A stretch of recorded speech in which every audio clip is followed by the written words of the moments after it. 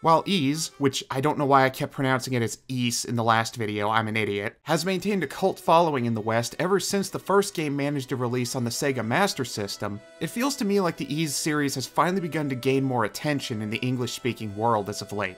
What many newcomers may not be aware of is exactly how old and influential Ys and its developer Nihon Falcom truly are.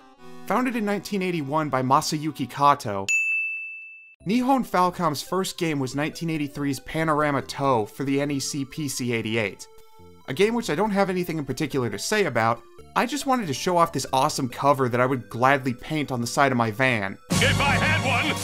It was after Panorama Toh that Falcom would help form the very bedrock of role-playing video games in Japan, with 1984's Dragon Slayer and its 1985 follow-up, Xanadu, the two games, alongside Hydlide by T&E Soft, paved the way for iconic franchises like Legend of Zelda. But while Shigeru Miyamoto and Nintendo were being lavished with praise for Zelda, a new team at Falcom, led by Masaya Hashimoto and Tomoyoshi Miyazaki, the future founders of Quintet, were working to craft their own take on this burgeoning subgenre of role-playing games.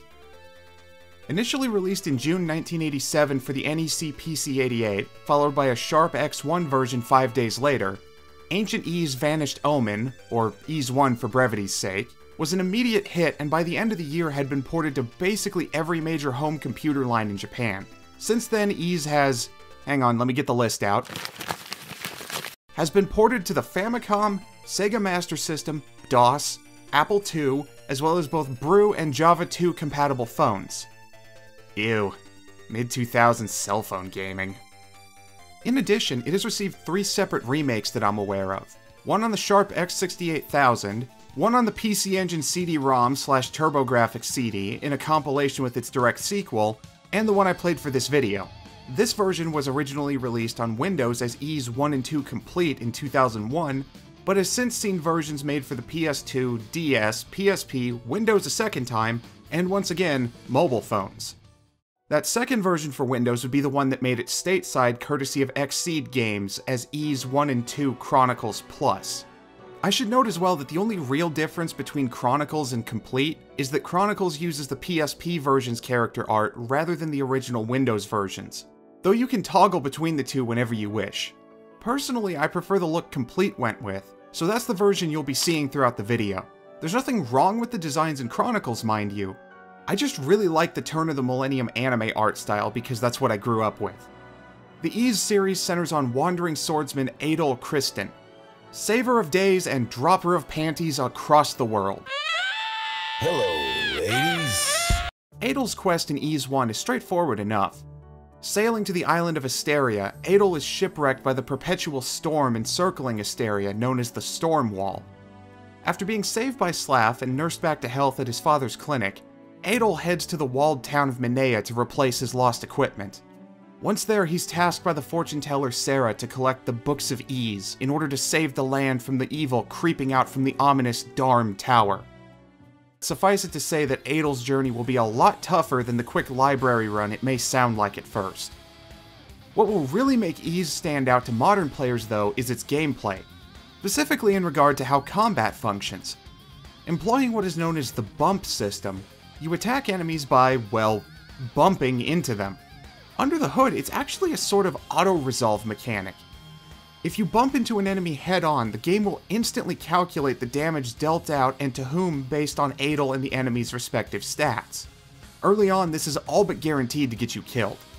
The trick is to attack from the side, behind, or most likely, off-center like so. Doing this will result in the calculation favoring Adol, so long as your damage is high enough to hurt them in the first place, you'll be ripping your way through monsters in no time. Now I know what you're thinking. You're thinking this is a song. You're probably also thinking that this sounds ridiculous and couldn't possibly result in a fun game. That's certainly what I thought when I first played Ys. Then you start digging into the game and you soon realize how primally satisfying the bump system actually is. I've seen it compared to the sensation of popping bubble wrap and that's perhaps the most apt way to put it. After a lifetime of running into enemies being nothing more than an easy way to lose health, you can at last subject enemies to the same treatment. My initial reaction to the bump system, though, was not helped by me trying to immediately fight the enemies outside the starter town, instead of running to the next town and buying equipment with the 1000 gold I started with. Turns out that punching an army of Mokujins to death isn't as easy as Tekken made me believe. But in my defense, this is a really weird design choice instead of simply putting a smith in the first town. Which would be because the starting fishing village of Barbado wasn't in the original PC-88 version, but instead was added in the TurboGrafx CD version that I mentioned before, though there Adol gets to Asteria without the ship crashing, and is dragged by Sarah to Minea before you're even handed control. The original version of Ys, meanwhile, simply starts you in Minea without any initial in-game push in the right direction. Ah, games that required you to read the manual cover to cover before you booted them up. How conflicted are my feelings for Yi. Before I get back to the version this video is actually about, I'd like to note that the PC-88 original is shockingly playable. This is a game from 1987 running on NEC's version of DOS at a reasonable frame rate, in full color, and nearly capable of smooth scrolling. You're telling me the Japanese players had access to gaming PCs this good in the 80s? I mean, just look at the actual MS-DOS version from 1989.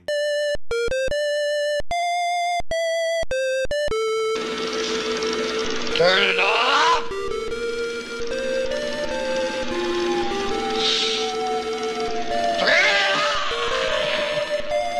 Back on topic, I have to emphasize again just how addictive the bump system makes combat in Ys. You tell yourself that you're only going to play for another 15 minutes or so because it's almost 2 in the morning and you're going out for an early lunch with family, so you really should start winding down for the night.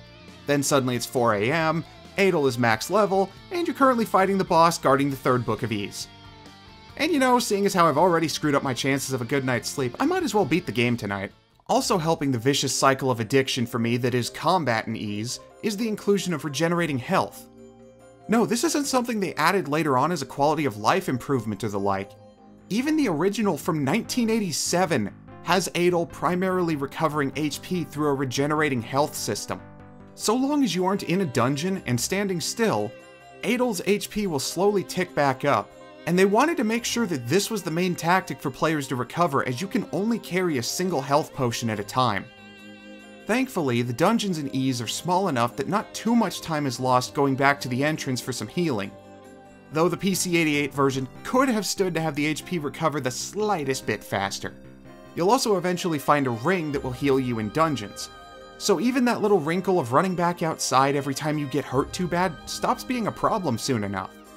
Though bosses do not give a damn what you have equipped. No heals for you. In spite of my previous references to Zelda, I wouldn't go so far as to refer to Ys as a Zelda-like.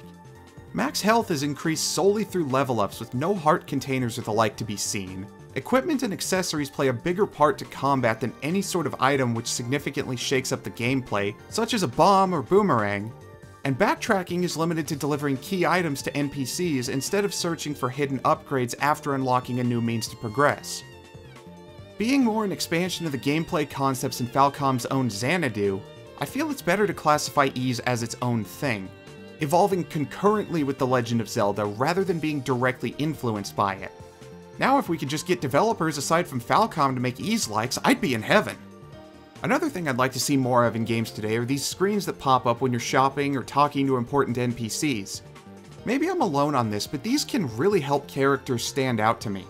Obviously, this was originally done to compensate for hardware limitations on 80s computers and kept in the remakes to retain a similar flavor, but I believe that a similar style would still work fine in indie games today. Finally, we have the boss battles. While the series would go on to be a sterling example of how to do boss fights correctly, it wouldn't be the first game that got the ball rolling on that. If you're having trouble with a boss in Ys, it's because you're not at a high enough level or you need better equipment not because the boss itself is an actual challenge. The only two bosses I found to be a legit challenge were this wannabe Castlevania boss with his swarm of bats form being difficult to dodge at times, and the final boss. Which, if you aren't going to have many difficult bosses, I guess the final boss really should pose the biggest challenge. While the compositions in this version were done by mainstays of Falcom's sound team JDK, Hayato Sonoda and Takahiro Unisuga, and the arrangement done by Yukihiro Jindo, the original soundtrack of Ys was done by Yuzo Koshiro and Mieko Ishikawa. If you want to hear my praise for Koshiro's work in general, check out my ActRaiser video. This game, coupled with Ys 2, was the big breakthrough for both composers. Koshiro would go on to found Ancient and begin freelancing his musical talents through it, while Ishikawa became Falcom's go-to composer of the 90s, founding Sound Team JDK after a mass staff exodus, and nowadays she's an executive at Falcom who has worked as the production coordinator on every Ys since 2003 and every single Trails game. So that's two industry legends involved on one soundtrack. Is it that good? You tell me.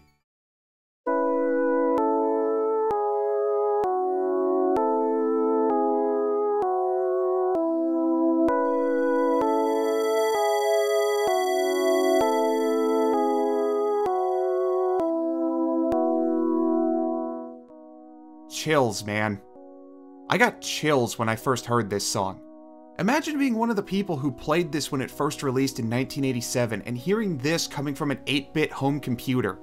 Where so many of its contemporaries went for something to hype the player up, Ys opted to open with this gentle, ethereal track. There are some old games where you hit the start screen and instantly know you're in for a treat. The rest of the soundtrack is just as great, ranging from the catchy field tune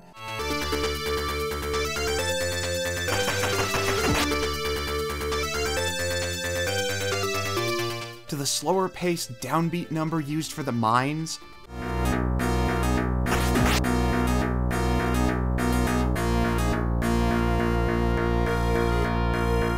All the way to the borderline power metal anthem of the final boss fight.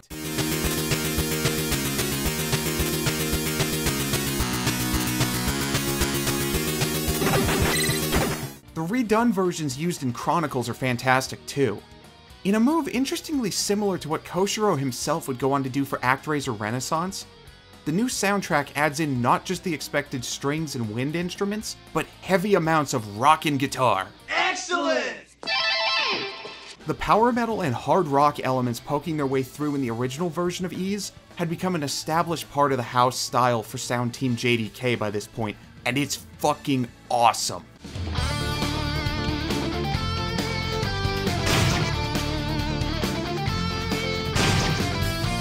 Honestly, this awesomeness shouldn't be all that surprising considering that Falcom games in general are almost universally renowned for their soundtracks. And because I neglected to mention her last time with ActRaiser, I should note as well that Ayano Koshiro, Yuzo Koshiro's younger sister, was the character designer for both Ys 1 and 2. Seeing as how this was the first game Ayano Koshiro is credited on, and that many of these designs have been simply iterated on in remakes rather than redone from the ground up, I'd say she did a damn good job. Even if I wasn't sure what to credit her with in ActRaiser, as she was one of five different credited graphic designers, I could have bothered to mention her at least during the lengthy amount of time I spent praising her brother's work. Especially considering that Ayano Koshiro was the art director on ActRaiser 2, and that's the one part of the game I truly like. Not to mention that she was one of the main planners on the legendary Streets of Rage 2. So yeah, definitely a woman who needs to be mentioned more when talking about notable designers of the 16-bit era. Okay, now we can talk story. Though stupid simple compared to what would come later, Ys 1 was among the first RPGs to provide a focus on story at all. It sounds ridiculous by today's standards, where the RPG is one of the premier genres for deep, involving stories, but many early RPGs are focused on combat and dungeon crawling, with only the barest elements of a narrative present to offer a motivation to the player. Now, I'm not claiming Ys was literally the first RPG to have an actual story that plays out across gameplay. Dragon Quest had come out the year prior, and the Ultima series was four entries deep by this point, but I believe it is worth noting how novel this still was in 1987. The story of Ys is centered around Adol's quest to find the Books of Ys, six ancient tomes chronicling the final days of the land of Ys. Each volume is named for the priest who wrote it and passed down through their families. They also supposedly possess the magic power of the twin goddesses of Ys. I'm gonna go out on a limb and guess that this blue-haired naked lady on the start screen is one of said goddesses. Oh, hi there, totally unrelated amnesiac woman with blue hair. It's weird how much you and that harmonica player in Minea look alike. Well, anyways, the dialogue mostly consists of solid world building before pointing the player in the right direction, though you can find some character moments if you know where to look. Once you've collected the first three books, it's off to Darm Tower to get the other three. This one gigantic dungeon takes up the entire second half of Ys, and aside from having way too much backtracking, is notable for featuring the introduction of a legend. Entering into the game like an 8-bit Kool-Aid man, Dogi became so popular with fans that he was promoted to Adol's best friend slash heterosexual life partner in Ys 3, and aside from Ys 5, has remained at his side since. It all culminates in a big showdown with... Hang on, do I need to put up a spoiler warning first? On the one hand, it's impossible to discuss so much as the premise of Ys 2 without spoiling the ending to the first game. But on the other hand, there might be somebody watching this who is playing Ys 1 as I speak and wants to see the final boss for themselves first. Hmm. Okay, come on out, boys. Skip ahead to here for my final thoughts on the first Ys, and then, uh, pause the video before I get to Ys 2, I guess? It all culminates in a big showdown with the villain behind the monsters overrunning the island. Dark Fact. Dark Fact. It sounds like what an emo 13-year-old would name their Sonic OC. On a more awesome note, while I was working on this script, I learned that the TurboGrafx version includes voice acting. Oh, I have heard about your bravery. You're going to Darm Tower to find the book, aren't you? The locals here call it the Tower of Death. You can imagine why.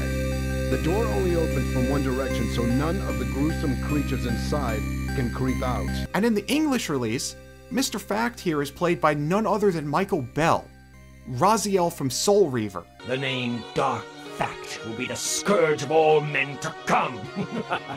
oh, you are brave, but you are also a fool. You have no chance without the protection of the silver equipment. Knave, prepare to die! I have no smartass remark here. I just love Michael Bell and everything I've ever heard him in. It will arouse their suspicion. And if that happens, we will have to punish you. We will? I promise you! As for the fight itself, holy shit! This guy does not fuck around. Constantly summoning fireballs that splinter into smaller fireballs on impact while he pinballs around like an old screensaver. We could have some sort of riddle, Wait for it. like something that you have to look for. Sort of a where's Waldo? Oh! To top off this shit sandwich, he takes out chunks of the stage every time you damage him. You will get trapped at least once before you get the hang of this fight. It's even worse if you're an idiot like me and completely forget the blatant warning you're given about his cloak being resistant to everything but silver and don't switch to all silver equipment before the fight starts. This is why I don't try to offer too many gameplay tips in my videos. I don't so much beat the games that I play on this channel, so much as I bumble my way through until I somehow make it to the ending. The truth is, I just kept crawling and it kept working. Speaking of that ending, there really isn't much of one. Dark Fact is defeated, and the adventure continues. Hello, chumps. Who would put a sign like that there? It's very unsatisfying and makes Ys feel more like half of a game than a complete experience. Either Falcom decided to split this into two games for some reason, or they had a lot of faith in the game doing well enough to warrant a sequel.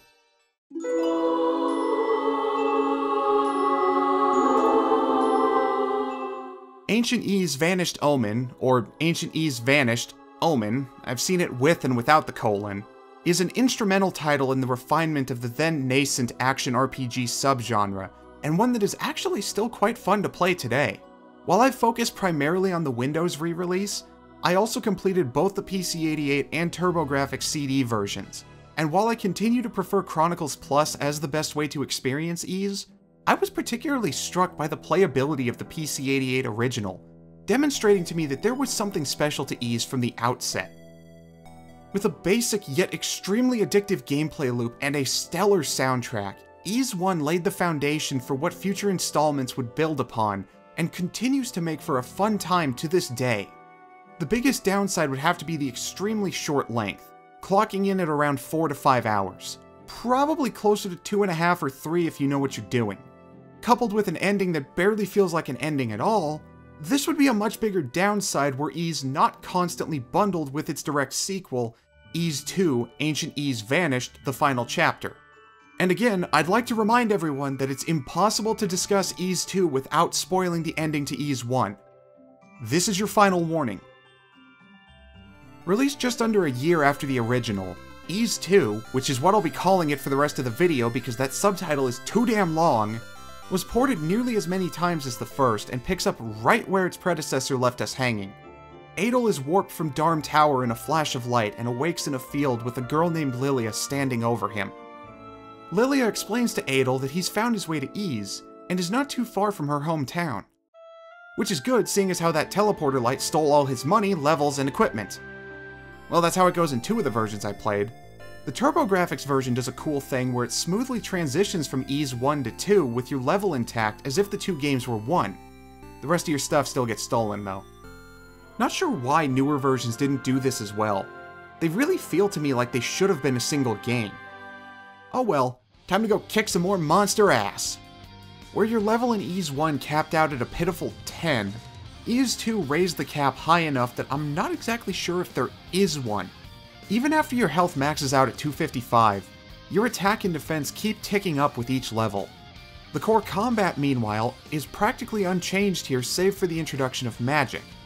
I mean, you get a fire spell and time freeze magic, but most of the magic you find is more utility focused. Showing hidden doorways, warping Adol back to town, way more convenient than the single use wing item, by the way, and transforming Adol into one of these cute little Roo critters. Aw, how adorable! He's still got a tuft of red hair in Roo form. Oh, I forgot about the shield spell. Though since you only get it a bit before the final boss, there's not much to say about this one. I didn't use the time freeze one all that much either, come to think of it. Having any sort of ranged attack in a game like this is far more handy than better defense or being able to stop enemies in their tracks. Besides, you can't switch spells mid-boss battle, and you sort of need fireballs to hurt most bosses. In addition, Ys 2 is a much larger game with convoluted dungeons to match. Though I feel that Falcom's ambition may have overstepped their means here, as the total lack of a map is a far more noticeable problem than it was in its predecessor. In Ys 1, while there was the occasional dead end, and it could be easy to forget which floor of Darm Tower you needed to backtrack to at points, the overall design of the dungeons were pretty straightforward. If you could find the stairs, then you were headed in the right direction. Ys 2, meanwhile, relies far more on screen changes and multiple sets of staircases leading every which way. Add in the fact that so many of these rooms look alike and you're in for a frustrating time. I can understand the original version lacking a map, seeing as how many computer games of the 80s and early 90s were made with the expectation that players would have a notepad and graph paper handy but a map seems like an obvious quality of life addition for a console port. There's also a slight change to the combat meta that, as far as I can tell, is exclusive to the Complete slash Chronicles version of Ys 2. Rather than attacking enemies from off-center, now the game wants you to run into them diagonally. Once my muscle memory adjusted to this, I actually came to prefer it. This adjustment makes chaining from one enemy to the next feel far more fluid without removing the risk of taking damage if your angle isn't quite right. Plus, bodying monsters into a corner until they explode into gory chunks is very satisfying. Yeah, you, you definitely gotta get him out of the stable more. The biggest improvement in my opinion is with the bosses. Where most bosses in the first Ys feel like afterthoughts, either being barely a challenge at all or just plain confusing, bosses in Ys 2 are genuine tests of skill. Not the most difficult of tests, but a huge step in the right direction. This seems to me to be where Falcom began to get a better sense of what they wanted boss fights to be like in Ys. Taking cues from the shoot 'em ups that were all the rage at the time, bosses in Ys 2 are about dodging the mass of projectiles fired at you, then shooting back at them with a few fireballs. Now, I'm not a huge fan of shoot 'em ups. I've never had the reflexes for them or the cognitive ability to process rows upon rows of death heading for me. Here, though, I find it to be a challenge that keeps me on my toes without leaving me screaming at my screen, demanding to know how the hell am I supposed to dodge that? So that probably puts it on the easier end of things for people who don't suck at shmups. Of course, that's just for the Windows side of things. The PC-88 and TurboGrafx version? I had a much harder time. The PC-88 version is such a grind. Enemies give out a pittance of XP, Yet you have to spend a ton of time getting your level up to the point that the game deems you worthy of being able to damage any of the enemies in the first real dungeon. Compounding my frustration is how it's now impossible to pin enemies against walls as they will eventually turn and walk into you. forcing me to play this game of bumping into them until they're almost to the wall before backing off. I thought this was a glitch at first until I got to Ys 2 in the TurboGrafx version, and it did the same thing to me. This made it so that once I got the fire spell, I stuck to spamming it against every enemy.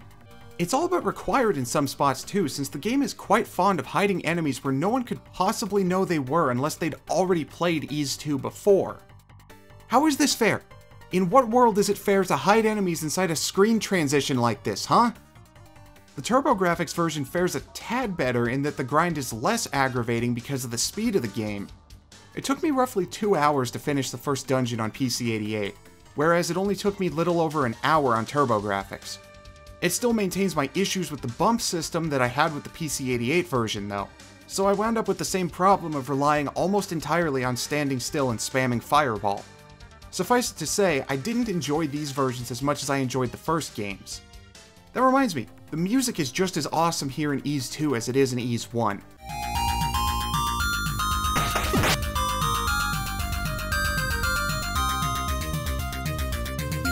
Regardless of which version of the game we're talking about, it's top-notch stuff.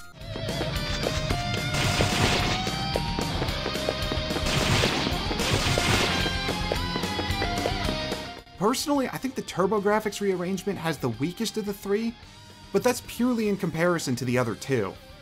If I were comparing it to other games from the time, it would likely be up much higher.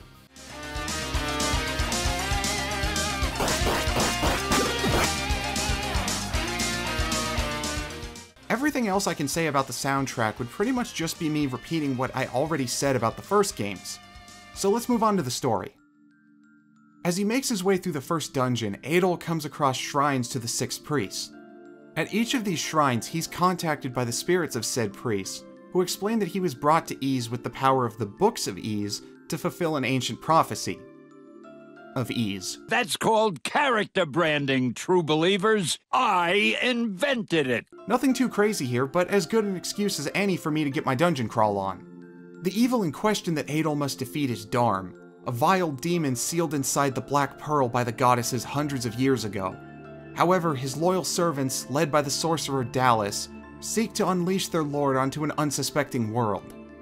Adol will have to travel all over Ys, across icy mountains and through volcanic caverns in order to reach Solomon's Shrine, formerly one of the holiest sites in Ys, now home to Darm's demon army. This time around, the villains don't wait until the very end to make an appearance. Not only do Darm and Dalles feature in the opening, but Adol gets multiple run-ins with Dalles before their final boss fight. Even more so in Chronicles, where it actually cuts to Dalles responding to Adol's progress Saturday morning cartoon villain style. The Thunder Kittens have found the golden sphere of Seti. It's a shame that the TurboGrafx version doesn't have this, seeing as how Dalles is voiced by Jim Cummings there. All communication to Darm Tower has been cut off. What should we do to stop this rogue? Not the go-to villain voice actor of the time, but it's not like they got Skeletor to play Darm or something. His bravery presents an interesting challenge. Let's see how far this Adol character can go before we crush him. Man, I really wish I liked this version more. While the plot itself is nothing outside the ordinary, there's a noticeable increase in the focus side characters get. In the first Ys, NPCs were there to either provide hints or foreshadowing. What few moments of characterization were present had to be sought out by the player. In contrast, Ys 2's story actually attempts to weave a few side stories into its narrative. The easiest example to point to is right near the start where Adol has to rescue the town doctor from a mine collapse, and in the process learns that Lilia is dying from an unspecified illness. Being the chronic hero that he is, Adol helps track down the ingredients that Dr. Flare needs for the medicine. Where Ys 1 would have left it Lilia's mom thanking you and moved on, Ys 2 takes a moment to have Lilia waiting outside. Alongside the expected thanks, Lilia admits to Adol that her cheerful attitude was the result of her trying to live in the present, having sensed that her illness was far more dire than everyone would have her believe. It's a simple moment that's over in an instant, but provides just that little bit more characterization to make Lilia feel like more than a mere prop for advancing the story. Scenes like this show the ambitions for higher levels of storytelling in their games that we'd see both in later Falcom titles and with Quintet, The company Tomoyoshi Miyazaki and Masaya Hashimoto would co-found a year after Ys 2's release. There are a handful of similar moments scattered across the game, and while I'd never go so far as to say that Ys 2 has a good story, it does its job well enough to keep the player invested in the world and characters. In a gets more messed up the longer you think about it sort of way, Ys 2 even offers a bit of depth to the demons and monsters when you're in Rue form.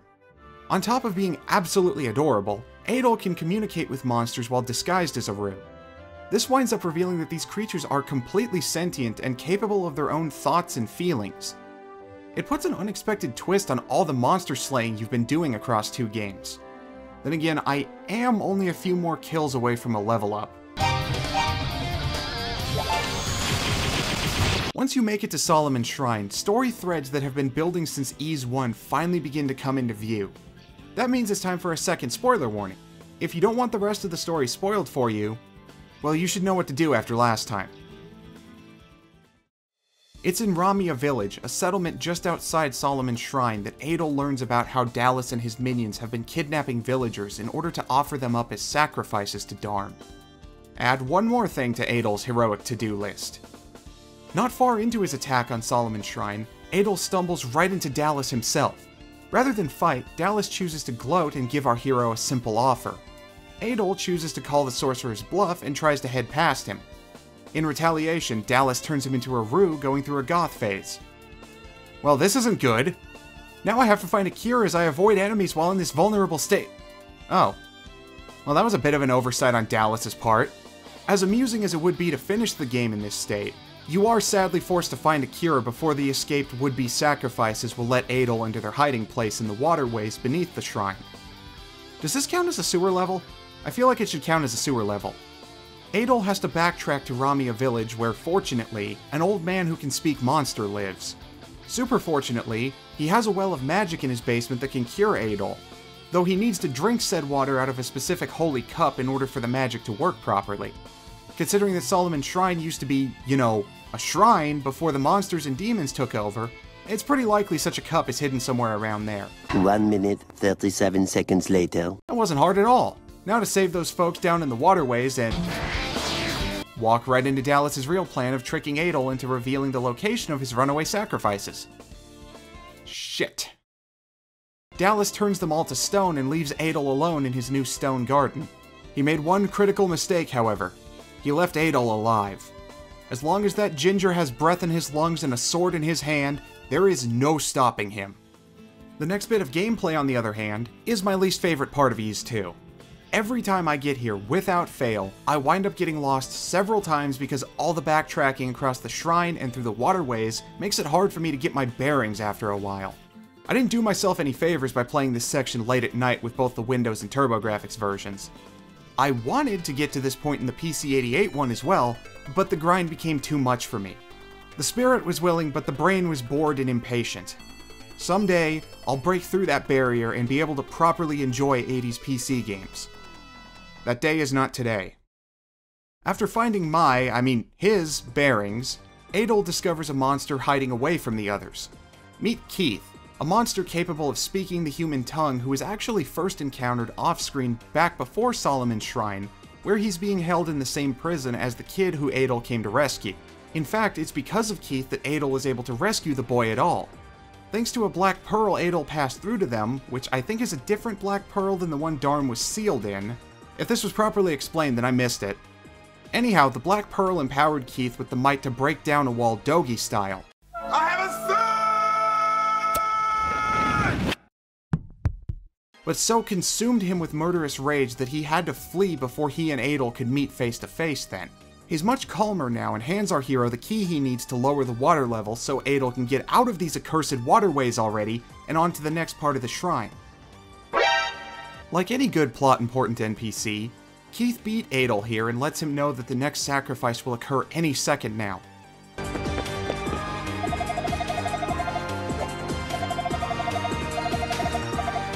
Impassable barriers! Adol's one weakness! No worries, we have plenty of time. Keith said something about a bell needing to ring five times before the sacrifice can occur, and in all this time I haven't heard it ring-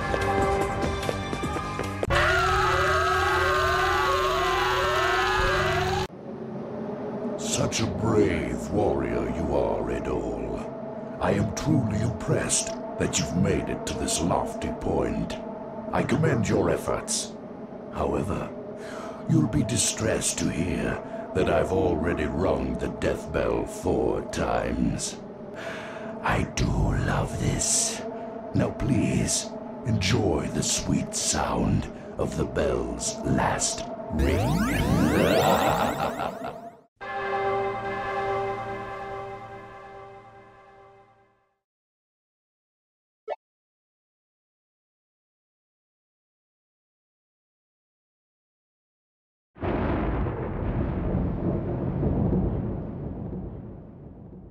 Well, fuck. Maybe we got lucky and it missed. Aw, oh, she did.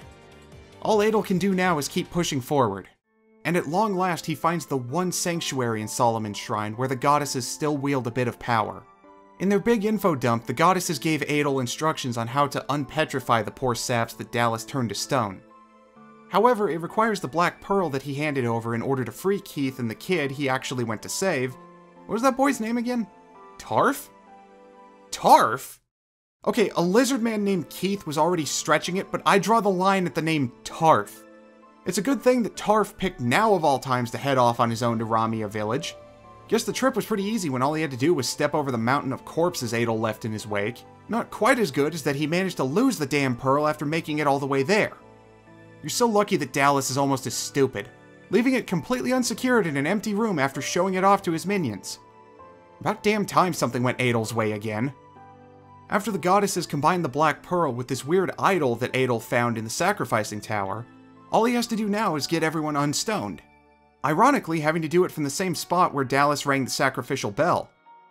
Back in the waterways where the survivors have fled to, all of them are back to normal and even one happens to have gotten a hold of the necklace that Adol needs to reach the inner sanctum of the shrine where Dalles awaits. Now it's time for me to cop to being a moron once again, as I didn't pay enough attention to Dalles's pre-fight gloating. People with ADD, they aren't good readers. Wanna go shave a dog? I died several times before I realized he's one of the only bosses you need to attack physically. Once I did that, he went down like a chump. Onward to the core of Ys itself. First off, I love this alien Magitech aesthetic this whole area has going on. It's so different from everything else that came before, and the total lack of any more enemies on the way to the final showdown with Darm is ominous as all hell. The actual fight with Darm is pretty much just a less bullshit version of the fight with Dark Fact, and so long as you have the Goddess's Ring equipped, his fireballs are slow enough to dodge as you chip away at his massive pool of health. At least in the Windows version. The TurboGrafx one I straight up couldn't beat. I tried several times, but I couldn't get the rhythm down so go ahead and mark me down as a filthy casual. It's a long battle, but Adol manages to strike down Darm. This time around, he gets a well-deserved celebration for his efforts, ending with a moment alone with Feena, the amnesiac girl from the first game, who must soon end her time among mortals and return to the heavens. Totally called her being one of the goddesses, by the way. All she asks of Adol is that he remember her as a woman and not a goddess. You see what I mean about Adol? The dude accidentally wooed a goddess. There's being a charmer, and then there's the Alcibiades level of pure riz that Adol possesses. There's an argument to be made that this is the real reason that he never actively pursues anyone, despite the conga line of women pining for him across the series. But it's funnier for me to treat it like adventuring is the only way he can get off. So I'm gonna keep doing that.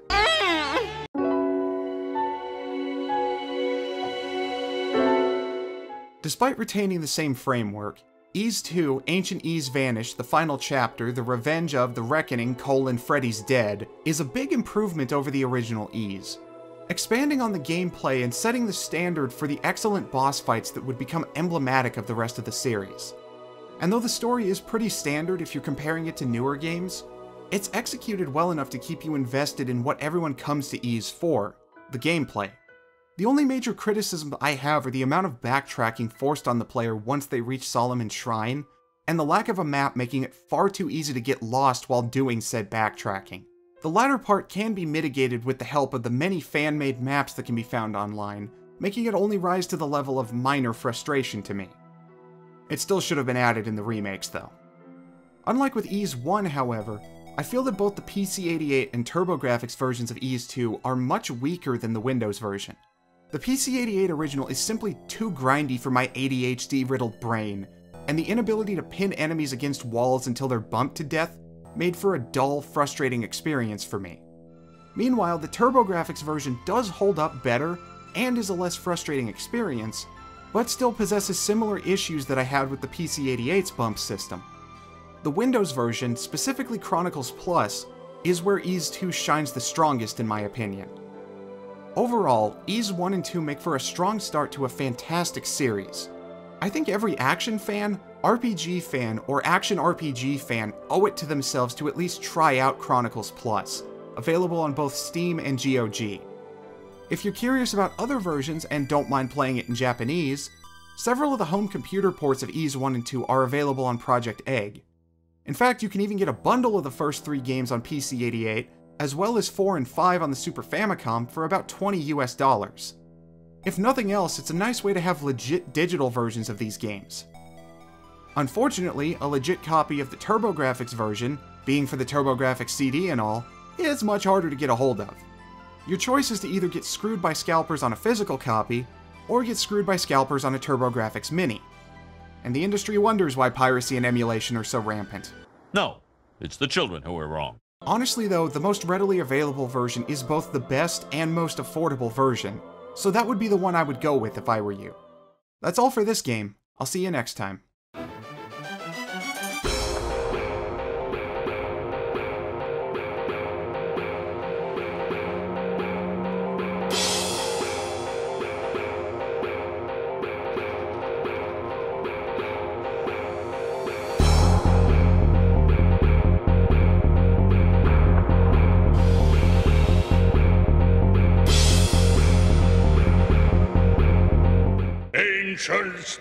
Spirits of evil, transform this mum